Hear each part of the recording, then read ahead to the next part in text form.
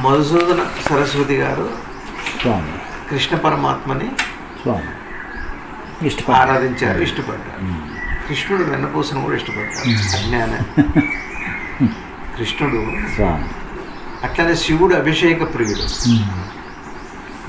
ఆయన స్వామి.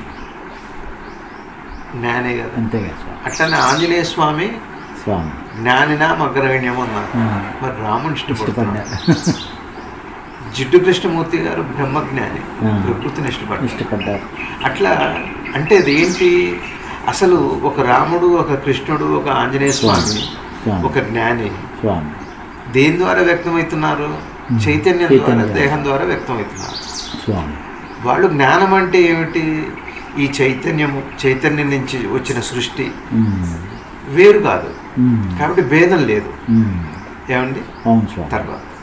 చైతన్యం దగ్గరికి పోయిన తర్వాత చెప్పటానికి లేదు.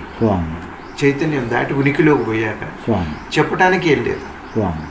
చైతన్యంగా ఉన్నప్పుడు ఇష్టాయిష్టాలు జీవనం దేహకృత్యాలు దైహిక క్రియలు ఈ ప్రపంచంలో కదలటం ఇవన్నీ ఉంటాయి. ఇష్టాయిష్టాలు కూడా ఉంటాయి. అది చైతన్యంగా వ్యక్తమైనప్పుడు మాత్రమే. అయితే. అది రాజసిక తామసిక అహంకారంతో కాక. ఆ. గుణాలతో కాక. శుద్ధ సాత్వికంగా ఉంటుంది. శుద్ధ సాత్వికం ఇష్టపడకపోవటం అంటూ ఏముండదండి. శుద్ధ సాత్వికం ఇష్టపడు అందుకనే శిశుర్వేత్తి పశుర్వేత్తి జ్ఞానరసం పణికి అంటారు. అంటే మరి వాటికి అసలు సంగీతం ఏమిటో తెలియదు. కానీ వాటిని చేస్తున్నాయి కదా. అర్థమైందా కాబట్టి ఈ చైతన్యం ఏం చేస్తుంది అంటే. ఈ భౌతికమైన ఇష్ట ఇష్టాల ద్వారా పరమాత్మను తెలుసుకోవడానికి ఉపయోగపడుతుంది. అట్లానే మనకి మంచి మంచి ఆలోచనలు చెడ్డ ఆలోచనలు మంచి పనులు చెడ్డ పనులు అని రెండు ఉన్నాయి. దత్తురు వాళ్ళు దత్తాత్రేయులు వారు చెబుతున్నారు. మంచి పనుల వల్ల సత్యం వైపు వెళ్ళటానికి. చెడ్డ పనులను అర్థం చేసుకోవటం ద్వారా చెడ్డ పనులు విడిచిపెట్టడానికి. ఇది ఉపయోగపడుతుంది.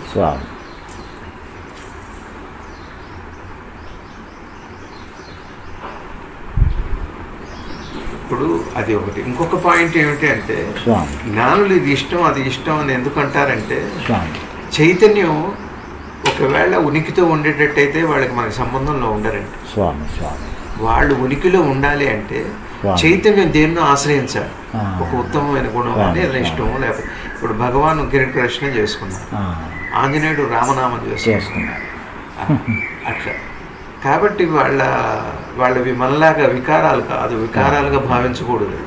వాళ్ళు వ్యక్తమవటానికి చైతన్యం ఒక ఆశ్రయం. రామకృష్ణ పరమహంస ఆహారం మీద ఇష్టం ఉండేది. కానీ అజ్ఞాననే ఆ, అజ్ఞానానండి. స్వామి. కాబట్టి మనలాగా కాదండి. ఉంటే తింటారు లేకపోతే తినరు. అది ఇష్టం అంటే. ఇష్టం అంటే అది లేకుండా తినలేను అనుకోవటం అది జీవలక్షణం. అదే తింటానంటాం జీవలక్షణం. జీవలక్ష్మి ఇష్టంగా ఏది ఉంటే అది తింటాం దైవ లక్షణం. అది అంటే. చైతన్యంగా వ్యక్తమైనంత కాలం. అది ఆ కథ అట్లనే స్వామి స్వామి. ఇవన్నీ ఇది కూడా చెప్పండి. చెప్తాను ఉంటాయి. అంతే. చైతన్యం అన్న తర్వాత ఉంటాయి ఇంకా. మరి రాముడు సీతను ప్రేమించలేదు. స్వామి. ఆంజనేయ స్వామిని ప్రేమించలేదు. తమ్ముడిని ప్రేమించలేదు. తండ్రిని ప్రేమి రావణాసురుడిని ప్రేమించాడు ఆయన. రావణాసురుడి మీద ఉన్నది ఆయనకి ద్వేషం కాదు ప్రేమ. స్వామి స్వామి. జ్ఞానినా మకరణ్యం అన్నారు ఆంజనేయ స్వామి గారిని. ఎట్లా చెబుతారండి. వాడికి ఏముండదని. ఎట్లా చెబుతారు?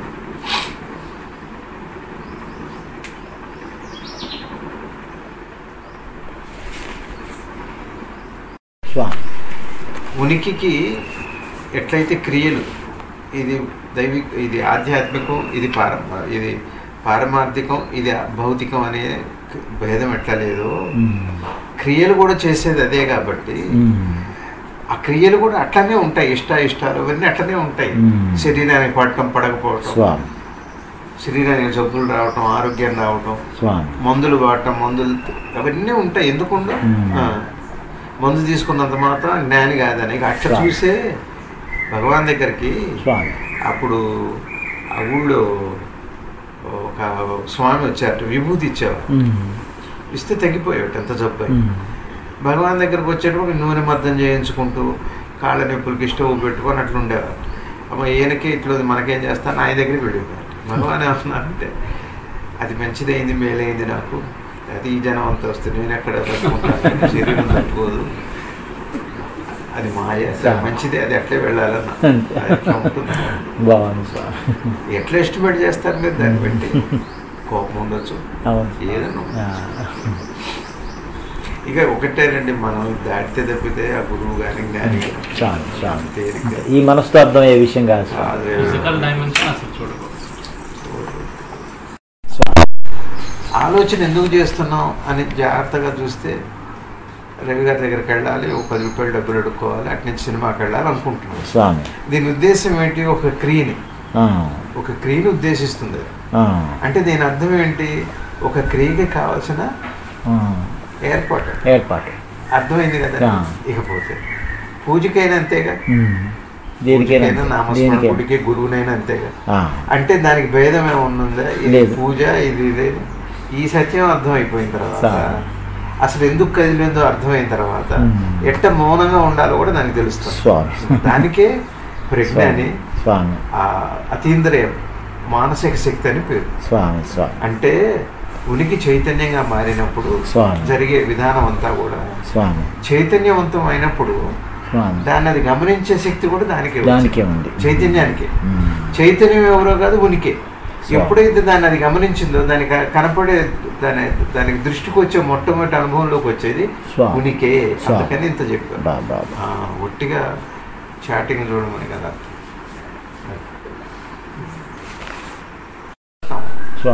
లోపల వార్త రావట్లేదుగా. పాటే ఉంది పెదాల మీద ఉంది. అట్లా పాడినవాడు భక్తుడు. ఇట్లా పాడినవాడు కళాకారుడు అంతే. తర్వాత త్యాగరాజులు వారు సంగీతం ద్వారా పరమాత్మను చేరుకున్నారు. స్వామి. పురంధరదాస్ గారు కానీ త్యాగరాజులు వారు కానీ అంటే చివరి వరకు సంగీతాన్ని వదిలిపెట్టలేదు ఆత్మజ్ఞానం పొందారు. కానీ సంగీతాన్ని సంగీతాన్ని. మరి యువతలది కదా అది. ఎట్లా పట్టుకుంటారు దానికి. అంటే అట్లా ఉండకపోతే వాడి ఉనికి ఉండదండి. ఉండదు, ఉండదు. అదృశ్యమైపోతారు అది వాడికి ఉనికి ఉండదు ఇక. మనకి కాంటాక్ట్లోకి రాలేదు. అందుకని వాడు మాట్లాడటం అది ఇష్టం ఇది ఇష్టం వినాలంటే ఏదో చేస్తూనే ఉంటారు. ఆ ఉనికి నిలబడటం కోసం ఈ చైతన్యం ఏదో ఒక దాన్ని ఆశ్రయించుకుని ఉంటుంది. రామకృష్ణ వారికి అమ్మ శారదమ్మ మాట్లాడుతూ వంటింట్లోకి వెళ్ళి అడిగేవారు టైం అయింది వాడు ఏం చేస్తున్నాం అదేంటి ఇదేంటి ఓ రోజు అన్నారు ఇంత భక్తి ఇంత బోధ చేస్తున్నారు మీరు ఈ తిండి చేసేంటి మీకు అని అన్నారు.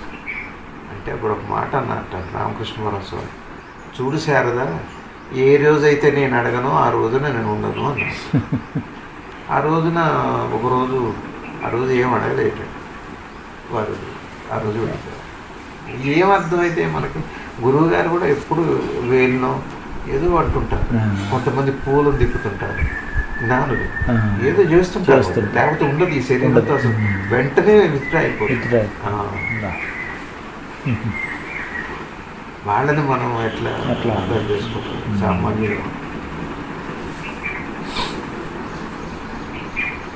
ఎట్లా వ్యక్తం అవుతుంది లేదు. అట్లా రకంగా వ్యక్తం అవడానికి? అవకాశం లేదు. అట్లా వ్యక్తమైనప్పుడు అజ్ఞానమే అజ్ఞానం అది. అజ్ఞానం. ఎట్లయితుంది చైతన్యం యొక్క లక్షణం కాదు స్వామి. నిన్న నాకు ఒకటి అనిపించింది. స్వామి. కంట్లో పుషో లేదా నలుపు వచ్చింది. కంటికి కనపడదు కదా మరి. అది అనుభవిస్తుంది ఉమ్. దీని వేలుతో తీసి చూస్తాం. ఇది పుష గిస లేదా ఇంకేదన్నా. నలక అప్పుడు కను చూస్తుంది.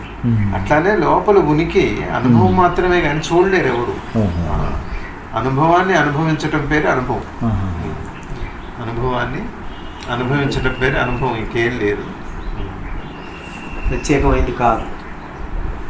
అనుభవయోగ్యమే. అది అనుభవయోగ్యమే. అనుభవం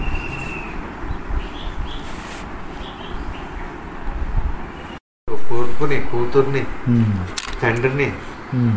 అంటే ప్రేమిస్తుంది. దీని భేదం ఏంటి దానికి అసలు పొద్దున ఏదో ఇట్లనే ఒక ఆలోచన ఏదో వచ్చింది స్వామి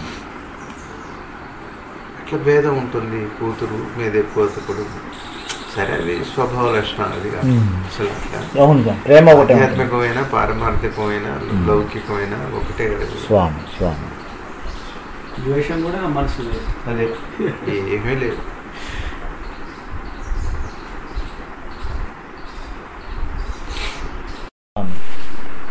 భక్తి జ్ఞానమాత అన్నారు భక్తి జ్ఞాన మాత భక్తిలోంచి జ్ఞానం పుడుతుంది. ఏంటో ఆయన నామం. అది జరుగుతున్నది. అంతవరకే జరుగుతున్నది. మీరు అన్నవి రెండు జరుగుతున్నాయి. ఇది వస్తుంటే ఆ, ఇది పెరుగుతున్నా కొద్దీ అటు వెళుతున్నట్టే. తెలియదు కూడా ప్రయాణం. అసలు ఆ ప్రయాణం ఎట్లాంటిదంటే తెలియదు అయితే చాలు. అయితే చాలు. ఆన్సర్ వచ్చేసి అంతే. ఏం లేదు వేరే ఏం లేవు.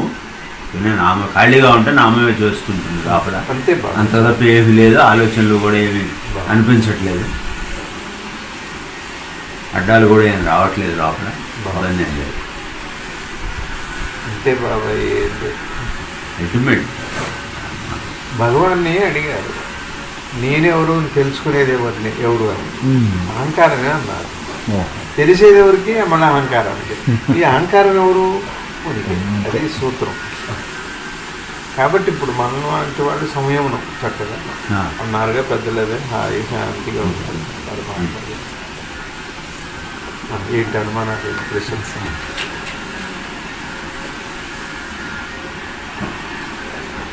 బాగుంది. భావన విచారణ.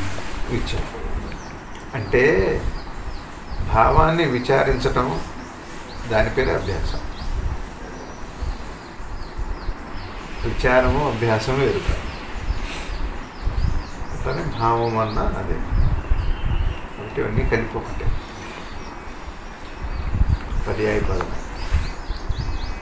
భావించటం వేరు. అది భావం అనేది వేరు.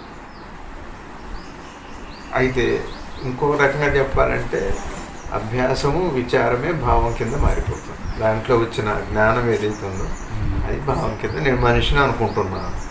కాదు నేను భగవంతుడిని అని తెలుస్తుంది. అది భావం. కాబట్టి నేను మనిషిని కాదు అని విచారించాలి. ఆ విచారణ అభ్యాసం చేసుకోవాలి చక్కగా. చేస్తే అప్పుడు భావం మారిపోతుంది.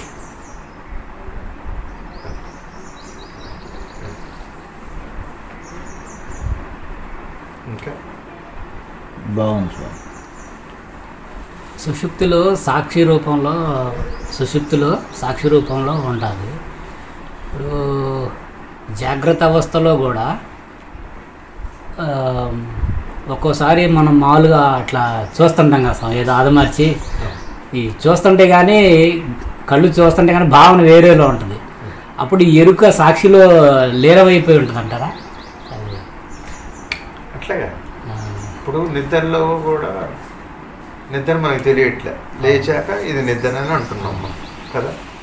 అట్లానే ఇక్కడ కూడా నేనేదో ఏదో చూస్తూ ఏదో ధ్యాసలో ఉన్నాను నేను అక్కడ ఏదో లేదు. నాకు.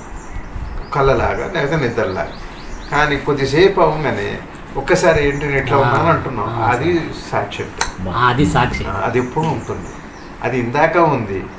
ఇందాక గమనించింది కాబట్టే కరెక్ట్ చేసుకోగలిగింది. తర్వాత ఇప్పుడు గమనించింది కాబట్టి గుర్తు చేసుకోగలిగింది. గుర్తు చేసుకునేది గమనించేది సాక్షి. పరధ్యాసను గుర్తుపట్టేది సాక్షి. సాక్షి.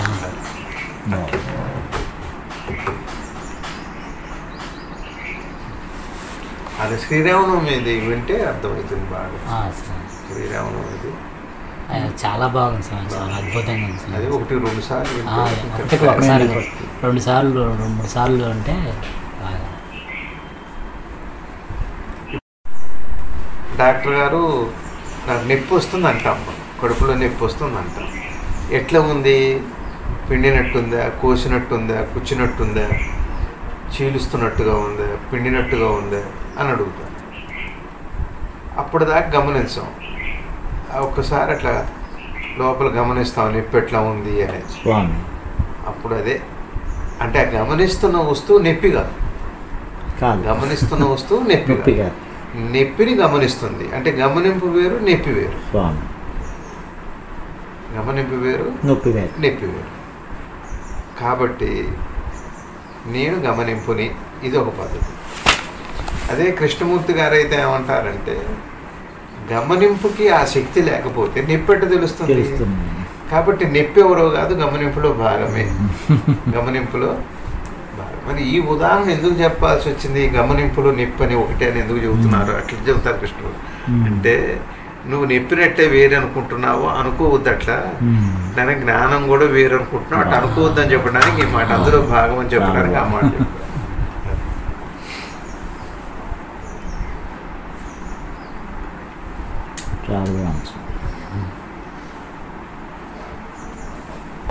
ఇప్పుడు నా చెయ్యి అంటున్నారు నా చొక్కా అంటున్నారు. చొక్కా వేరు నేను వేరు అంటున్నారు. నే- చెయ్యి అంటే నేను వేరు నా చెయ్యి వేరు అంటున్నారు. సరే అట్లా నా మనసు వేరు నేను వేరు అంటున్నారు. అటువంటిదేనా? నేను వేరు నా ఆత్మ వేరు నా ఉనికి వేరు. అట్లాంటిదేనా? అట్లాంటి విభజన లేదు అదే చెబుతుంది. అక్కనే ఉనికి అదేందని నెత్తో నెరగొట్టుకొని చెబుతున్నారు. వినట్లేదు మనం. చక్కగా విని చక్కగా ఉంటాయి బాగుంటుంది. ఇంకా? అంటే శరీరం ఉన్నా కూడా శరీరం తదనంతరం ఎప్పటికైనా పడిపోద్ది కాబట్టి తర్వాత అనేది ఒక ఇప్పుడు దీన్ని ఏమంటాం మనం? ఇప్పుడు ఈ ప్రశ్న ఏమంటాం? భవిష్యత్తులో ఈ జీవుడు ఏమవుతాడు ఏమిటి దాన్ని ఏమంటాం? ఆలోచన. ఆలోచన. కదా. ఆలోచన ఏం చేసింది? జీవుని సృష్టించింది భవిష్యత్తును సృష్టించింది. జస్ట్ ఆలోచన ఆడితే ఉన్నది ఉన్నట్టుగా ఉంటుంది. అది. కేవలం ఆలోచన. ఇది ముందేమో నోట్లు వేసుకున్నాం. దైవమైన ఎక్కడ ఉంటానో నాకు. ఇప్పుడు ఉన్నది ఆలోచనే మిమ్మల్ని జీవుని చేసింది. ఎప్పుడైతే మీరు జీవుడు అయిపోయారో భవిష్యత్తు గురించి ఆలోచిస్తారు. ముక్తి గురించి ఆలోచిస్తుంది నిద్రలో ఆలోచన లేదు కాబట్టి భవిష్యత్తు లేదు జీవుడు లేడు దైవం లేదు. ఈ మూడు ఒక్కసారి వస్తున్నాయి. ఇవన్నీ విన్న సమాచారాన్ని బట్టి అసలు ఆలోచన ఎక్కడి నుంచి వస్తుంది? సమాచారాన్ని బట్టే కదా. అందుకనే మరి ఆలోచించొద్దు ఆలోచన ఆపమంటారంటే ఆలోచన ఆపమంటలేదు ఆలోచన అవగాహన చేసుకోండి అంటున్నారు. అవగాహన చేసుకోండి భవిష్యత్తులో ఊహించుకుంటే ఈ భౌతికంగా చూసేవన్నీ మాట. నశించే ఇప్పుడు భవిష్యత్తులో ఈ జీవుడు ఏమవుతాడని ప్రశ్న. ఇది ఇందాక చెప్పినట్టు ఒక ఆలోచన. అది ఆలోచన. సరే. ఇప్పుడు నేనెవరు? ఇప్పుడు భవిష్యత్తులో జీవుడు అనే మాట వాడుతున్నామంటే దేన్నో ఉద్దేశించి కదా. ఇప్పుడు నేనెవరు? ఆ, అదేంటి? అది. దాన్ని ఇప్పుడు నేనెవరు. సమాధానం. దేహం అయితే అక్కడే పడుతుంది కాలిపోతుంది అన్న విషయం అందరికీ తెలుసు. వాడు పోయాడు అనే మాట జీవుడిని అని అంటున్నాం. జీవుడు అంటే ఏమిటి. అన్న ప్రశ్న పుట్టాలి. జీవుడు అంటే ఒక మానసిక శక్తి అతీంద్రియ శక్తి. దానికి శరీరంతో కలిసినప్పుడు జీవుడు అంటున్నాం మ్మ్. లేదా ఆలోచనతో కూడినప్పుడు జీవుడు జీవుడు అప్పుడు ఆలోచన తీసేస్తే ఏమైపోతుంది? ఉనికి. కేవలం ఉనికి ఉంటుంది. కాబట్టి ఇప్పుడు ఆ ప్రశ్నకి సమాధానం ఇప్పటికే మన దగ్గర ఉండి ఉండాలి. ఏమవుతారు. అంతే కదా. జీవుడు అనే మాట జీవుడు అనే మాటను ముందు అర్థం చేసుకుంటే భగవాన్ బుద్ధుడిని అడిగారు చచ్చిపోయాక ఏమవుతుంది ఆత్మ అని. నువ్వు బతికుండగా అర్థం చేసుకో నీకు చచ్చిపోయాక ఏమవుతుంది అర్థం ఇప్పుడు అర్థం కాలేదు చచ్చిపోయాక అని ఒక కొనసాగింపు అది. ఈ క్రియ ఇంకా కొనసాగుతుంది. ఈ ఆలోచన ఇంకా కొనసాగుతుంది నేను ఇంకా ఉండ అలా ఈ ఆలోచన అనేది అట్లా నేను శాశ్వతుని చేస్తుంది. అది. రెండో మాట అర్థమైంది? స్వామి. భవిష్యత్తులో ఎలా ఉండాలో భౌతికంగా కూడా అలాగే ఉండాలి. ఆలోచన కాబట్టి ఇప్పుడు మనం చేసుకోవాల్సింది జీవుడి కంటే ముందు ఆలోచన అంటే ఏమిటి? ఆలోచన దేన్ని ఆశ్రయించుకొని వస్తుంది? అందుకనే భగవాన్ ఏమన్నారంటే ఆలోచన ఎక్కడ పుడుతుందో చూడు అని అన్నారు ఆలోచన ఎక్కడ పుడుతుంది? ఉనికిలోనే పుడుతుంది. దేహంలో కాదు కదా. దేహమే ఆలోచనలో పుట్టేటైతే ఏ శవం పొడిచనివ్వదు ఏ శవం తగలబెట్టనివ్వదు. అది దేహంలో పుట్టట్లేదు. దేహంలో ఉన్నట్టుగా ఉంది అది సరి వేరు విషయం. అదే ప్రాణశక్తి ప్రాణమే. మన స్వరూపం ప్రాణమే. చచ్చిపోయాక ఈ ప్రాణం ఎక్కడికి పోతుంది? ఈ విశ్వంతా ప్రాణం ఉంది. అనంత ప్రాణంగా తెలిసిపోతుంది. ఆ ప్రాణం దేహంలో ఉన్నప్పుడు ఆలోచనగా ఉంటుంది. దేహం వీడినప్పుడు అనాలోచితంగా అనంతంగా ఉంటుంది. భగవాన్ ఏమన్నారంటే సముద్రంలో నది వెళ్ళి కలిసినప్పుడు నదీ సముద్రం అంటారు ఎవరన్నా? సముద్రం అనే అంటారు. ఇంకా. సముద్రం అనే.